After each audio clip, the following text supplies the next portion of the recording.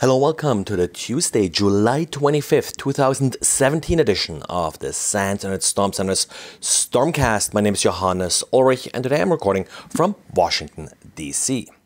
Renato today had an interesting diary about how Uber drivers are being defrauded via social engineering. A lot of uh, these social engineering tricks are really what we are seeing being used these days. So even if you're not an Uber driver, not associated with Uber, may still be interesting to see through what lengths social engineering attacks go in order to defraud their victim.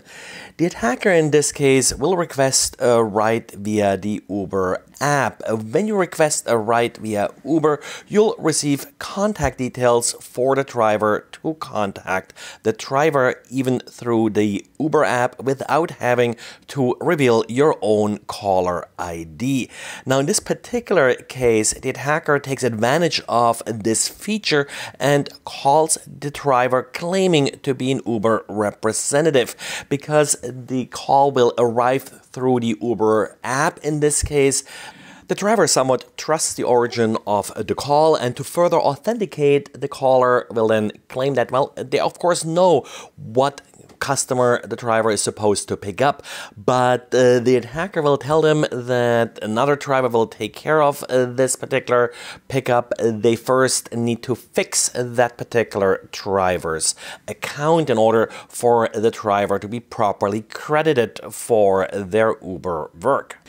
So this is where the attack then starts for real. The caller will ask the driver for an email address.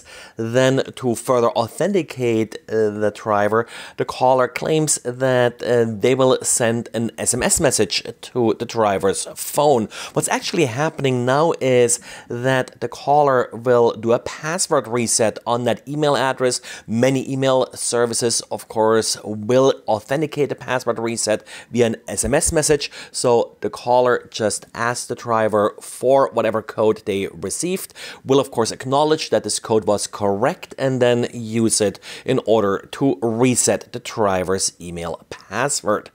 Now, the way Uber works is that drivers are being paid whenever they reach a certain threshold on a particular day. What the attacker does next is that they're using access to the driver's email address in order to reset the driver's Uber password, and with that, they can change the destination of the next payment.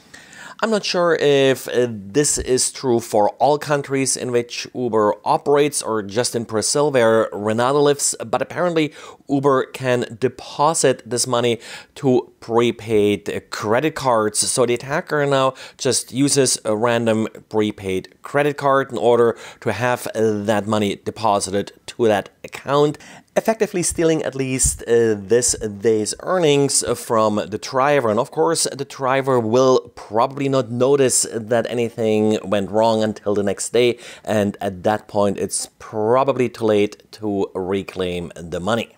Defending against attacks like this, of course, is quite difficult uh, because there aren't really any standards how to mutually authenticate for a phone call like this. And as a result, uh, the victim, in this case, the driver, doesn't necessarily know what to expect when Uber calls them. Best defense here is probably uh, to have very clear expectations as to how these calls work, how they are authenticated. But uh, then again, actually applying this in real life while you're in a rush to pick up the next customer uh, could be quite difficult.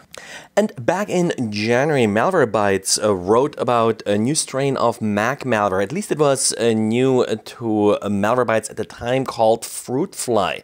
The malware was basically spyware. It took screenshots, logged keystrokes, and essentially allowed the attacker to monitor the victim's activity.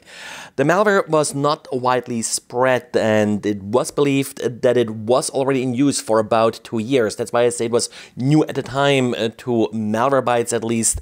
That often happens uh, with malware that is in limited distribution that it takes a while for researchers to pick up on it.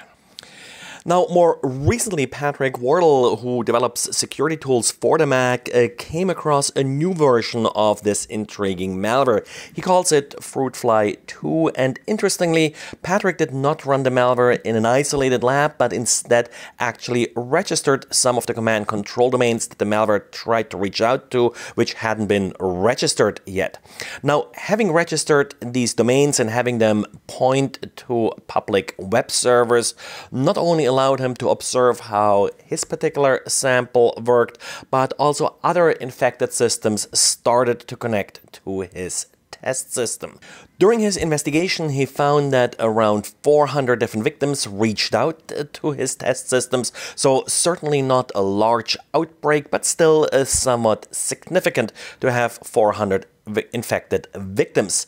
It is not really clear how fruit fly actually infects these systems and how these systems are selected, whether or not this is a more targeted attack and then we got a new exploit was released for Citrix's Netscaler SD-WAN. It does affect version 9.1.2. Now, Citrix did release version 9.2, which is more recent and should have this vulnerability fixed, but I couldn't really find any confirmation of that on Citrix's site. The CVE number for this vulnerability is 2017 6316 Exploitation is trivial. It's a remote code execution, does not require authentication, and provides full access to this particular device, which usually operates as a virtual machine. Now, all you have to do in order to exploit this vulnerability is embed the command that you would wish to execute on that device as part of the CGI session cookie. So, really easy, and like I said, an exploit, a Metasploit module has released to take advantage of this vulnerability. So if you're using SD-WAN, uh, then uh, make sure that you check with Citrix that you're safe if you run the latest version. Well, and that's it for today. Thanks again for listening and talk to you again tomorrow. Bye.